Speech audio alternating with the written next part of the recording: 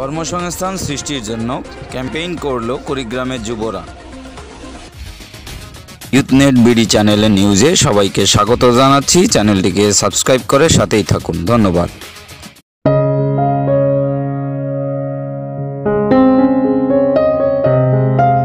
কর্মসংস্থান সৃষ্টি করে উন্নত দেশ গড়ি। বোঝা নয়, সম্পদ হতে চাই।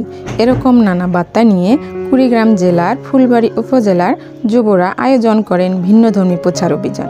কর্মসংস্থানের সুযোগ সৃষ্টি, বেকারত্ব দূরীকরণে কার্যক্রম উদ্যোগ গ্রহণ, দায়িত্বশীলদের দৃষ্টি আকর্ষণ করার পাশাপাশি তরুণ ও যুব প্রজন্ম এবং কমিউনিটিতে এ বিষয়ে সচেতনতার বৃদ্ধির উদ্দেশ্যে এই প্রচার অভিযানের আয়োজন করা হয়।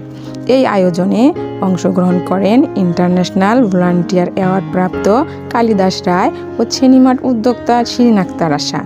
প্রচার অভিযান শেষে যুবরা তাদের উদ্যোগগুলো পরিদর্শন করেন।